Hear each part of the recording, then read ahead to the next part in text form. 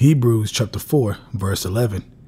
Let us labor therefore to enter into that rest, lest any man fall after the same example of unbelief. I want to give our praises to Yahweh, by Hashem Yahushai, by Hashem Rakah Kodash, for giving me the spirit to do this lesson. This lesson is going into faith, okay, which is my favorite lesson to talk about, man. Okay. I always say it's the heartbeat, it's the centerpiece of your salvation, of this truth. Because without faith, you cannot make it. All right. Without faith, you cannot make it at all. All right. Now let's read this again. Hebrews 4, verse 11. Let us labor therefore to enter into that rest, lest any man fall after the same example of unbelief. Now, when you look back to the wilderness and you see what happened to our people, the Hebrew Israelites, going through the split sea, and they still had unbelief in them, even after the miracles, man. Okay, which is ridiculous. You go through a split sea, you see your enemy get drowned, okay? And you know how great Egypt was in that time. So to see that great nation go down the way they did after you survive, after splitting the waters, okay? You see that Yahweh was with you and you still had unbelief, man. All right? On are you going to eat? Are you going to drink? You know, things of that nature. Okay? And this is a perfect example when you go back to that unbelief, okay? Now from there, let's go to Hebrews chapter 3. Let's start at verse 1. Wherefore, holy brethren, partakers of the heavenly calling, consider the apostle and the high priest of our profession, Yahweh Shai, who was faithful to him that appointed him. Right. Who was faithful to him that appointed him. Who appointed Yahweh Shai? Yahweh, okay, our Father. And it says he was faithful to him that appointed him, as also Moses was faithful in all his house. Right, man. Okay. Now, why is it saying this? Because it's impossible to please Yahweh Shai without faith. Okay. That's why it's written they were faithful. It's letting you know that. Let's go to verse 3. For this man was counted worthy of more glory than Moses, inasmuch as he who had builded the house have more honor than the house. For every house is builded by some man, but he that built all things is Yahweh Shemal Shai.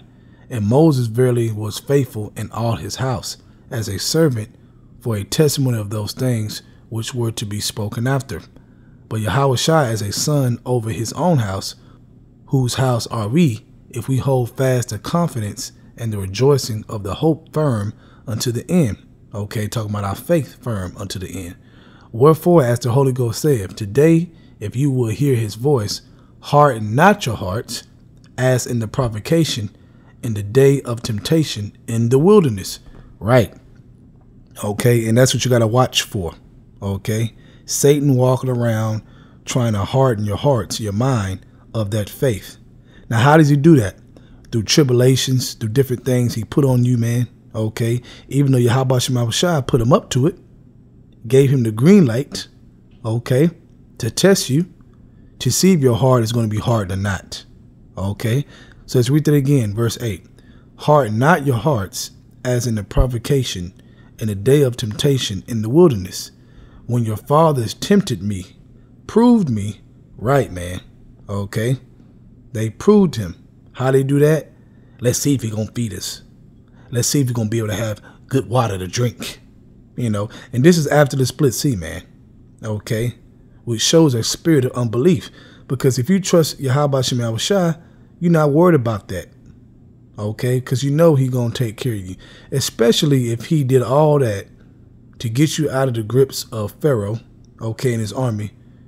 All right, go to the split sea just to not feed you, just to not give you clean water to drink. Come on, man.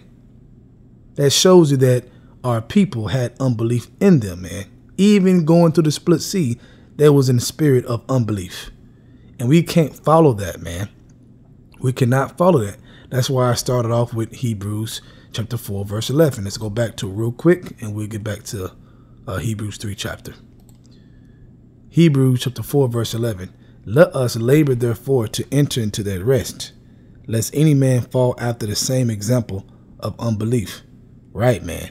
Straight unbelief is what we read about during that time, okay? So let's read verse 9. Back at uh, Hebrews 3, verse 9. When your fathers tempted me, proved me, and saw my works forty years, wherefore I was grieved with that generation, and said, They do always err in their heart and their mind, and they have not known my ways. Right. One of the ways that we ought to know dealing with Yahweh Shema Shai is that he loves faith. Okay? Faith pleases him, man. All right? We know we're not perfect in this flesh, right? So we need to focus heavy on our faith, which is the centerpiece of this truth. Okay? That's why it says the just shall live by faith. Right? That's how we're going to live. That's how we're going to survive. And that's how we're going to get saved, man. Has nothing to do with the flesh. All right? Verse 11 So I swear in my wrath, they shall not enter into my rest. Right, man. So they didn't make it. Why? Because of unbelief. Take heed, brethren, lest there be any of you an evil heart of unbelief. Right, man. So that's evil. That's considered a evil thing. To walk around and not believe in Yahweh Shema Shai. Okay? Now, to walk around and believe in Yahweh Shema Shai and have that pure faith, that's considered righteous. That's why when you read about Abraham in Romans chapter 4, it talks about him receiving the promise through his righteousness of faith. Okay, it was counted unto him as righteousness to believe and trust on Yahweh Shema Shai. See, that's a big deal. That's what you got to focus on, man. Okay? That should be the centerpiece of your walk in this truth, man. That's how you're going to survive. That's how you're going to get saved. All right? Let's read that again, verse 12.